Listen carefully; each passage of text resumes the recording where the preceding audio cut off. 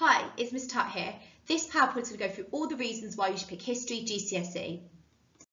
You'll walk away from today knowing why history is one of the most prestigious subjects to study, what History GCSE is all about, why your future is bright with a history degree, and how the history department at the John Roan School is going to make sure you ace it.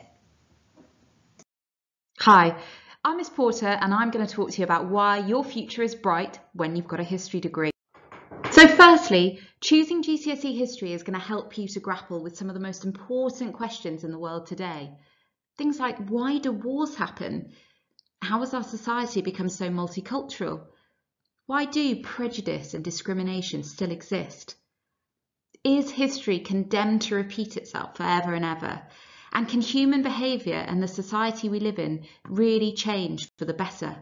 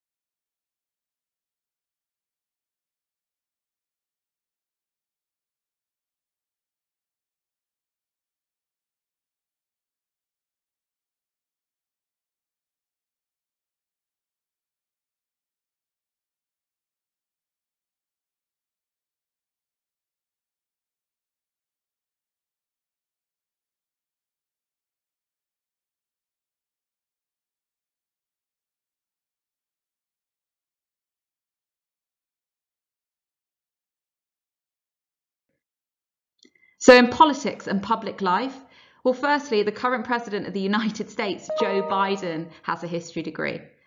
W.E.B. Du Bois, co-founder of the NAACP, has a history degree. Diane Abbott, the first, the UK's first BAME member of Parliament, has a history degree. Loads of former prime ministers, including Winston Churchill and Gordon Brown, also have history degrees. In entertainment, more Hollywood actors than you'd think have history degrees. Steve Carell, Edward Norton. What about Borat, Sacha Baron Cohen, and also Grammy Award winning artists Shakira and Lauryn Hill. And there are so many history degrees in the top echelons of business. Martha Stewart, who's got a current worth of $638 million, studied history at university. That tells you a lot about the skills you can learn from studying history. Robert L. Johnson, um, an entrepreneur worth $600 million. The current CEO of American Express, the CEO of YouTube, and the CEO of Hewlett Packard all studied history, and it set them up well for life. So, what is History GCSE all about, and what do you need to do to ace it? So, there are four components to History GCSE that I'm going to go through now. So the first unit of History GCSE is Conflict and Tension, the interwar years 1918 to 1939. During this study, we think about the reasons why only 21 years after the end of World War I, World War II began. What's really great about this is we also begin studying this in year 9, which means when you begin in year 10, you're already ahead of the game.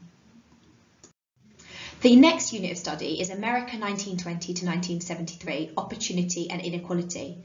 During this unit of study, we think about the differences between those Americans that enjoyed this period of American dream where there was lots of affluency and, and opportunities, and those Americans that continued to experience poverty, prejudice and discrimination.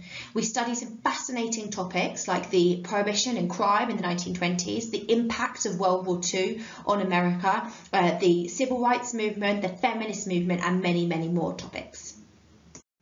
Next, we study Elizabethan England 1568 to 1603. During this course, we think about the fascinating character of Elizabeth I and consider whether she truly is one of the greatest monarchs this country has ever seen. Finally, we study Britain, Power and the People, 1170 to present day. This is a fascinating topic that looks at the last 800 years of British history and thinks about the relationship between those in power and the people. We study all the way up until the 20th century and look at some really fascinating topics like the suffragettes, the Windrush and Brixton riots of the 1980s. So here is what we need from you if you'd like to do History GCSE. A curious mind, do the work that's asked for you, ask for help when needed and come back fighting every week. Hi, Miss Masson here. In the next couple of slides, I'm going to talk you through how the history department at the John Roan School is going to help you make sure that you ace your history GCSE. We pride ourselves on being a really strong department who are totally committed to offering you excellent subject knowledge, challenging yet enjoyable and accessible lessons, the best resources possible to help you succeed, both in the classroom and outside the classroom. And also lots of fun. We are a passionate and committed department to the subject of history. We love history for various reasons, and we are going to make it our mission that by the end of the History GCSE, you are also going to feel equally passionate about the subject. Have a look here at the different reasons why we love history. In the history department, we will be able to offer you bespoke revision resources to help you succeed. For each of the four components that we study, you will receive a revision pack. Within this revision pack, you will receive a revision guide that covers key questions and content for the exam, flashcards and highlighters to help aid your revision practice. We are also able to offer you extra support if you need it and this can come in a variety of forms. We offer official interventions outside the classroom from early stages in Year 10 right through to Year 11. We also offer you online support in terms of being available to chat to you via email if any questions or concerns arise. We are also a department who are really proud of the fact that we are open and we are friendly. And that means you can come and find us for a chat anytime you need to in school, again, if any questions or queries arise. And finally, we offer you bespoke and personalised targets. We'll be able to offer you feedback regularly throughout your GCSE journey that will enable you to succeed. Hello Year 9, my name is Miss Stibby. I'm going to provide you with an overview of some of the reasons why history is one of the most prestigious subjects to study and share with you some advice from our current GCSE students. Miss Porter has already shared with you the variety of people from very different walks of life who studied history at university. So to follow on from that, it's important that you know that history is taking the top spot as the degree that produces future leaders. For example, 15% of our members of parliament studied history. Very powerful leaders in business such as Lloyd Blankfein, the CEO of Goldman Sachs, and Sir Howard Stringer, the former chair of Sony, both have history degrees. Furthermore, more than 20% of all head teachers in UK independent schools studied history. So it doesn't matter what field you want to enter, as the transferable skills acquired through the study of history are extremely valuable. The final paragraph of this slide sums this up nicely. The skills acquired from studying the past provide an excellent foundation for navigating the present and preparing for the future. Miss Tutt has already provided you with an overview of the topics we study in GCSE history. But we would also like to reiterate that these have been specifically selected to provide a broad balanced and diverse history curriculum.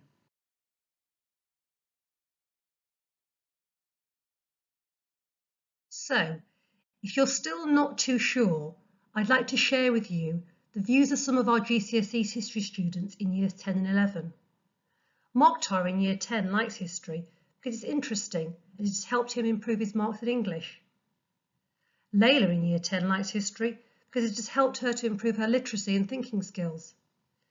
Bella in Year 11 advises you to choose GCSE History if you want to explore our fascinating past and have a wider view and appreciation of the world we live in today. Whilst Freddie in Year 11 says history is an amazing and well-run subject. GCSE History students have described the subject as interesting, fantastic, helpful, engaging and never boring. They say the History Department is supportive and knowledgeable one of the best departments in the school.